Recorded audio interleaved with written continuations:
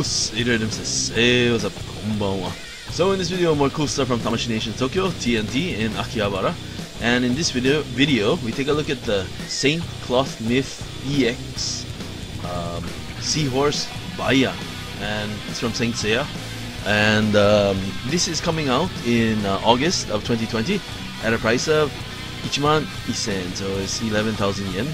And uh, yeah, pretty cool stuff. Okay, some cool details. Actually, he comes with five different facial expressions. So he, has five different faces you can switch around, get your um, uh, expressions, whatever. I mean, five, so it's pretty cool.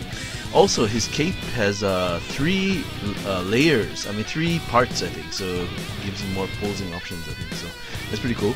Uh, yeah. So three, three, Some sammai. It's it's three uh, parts.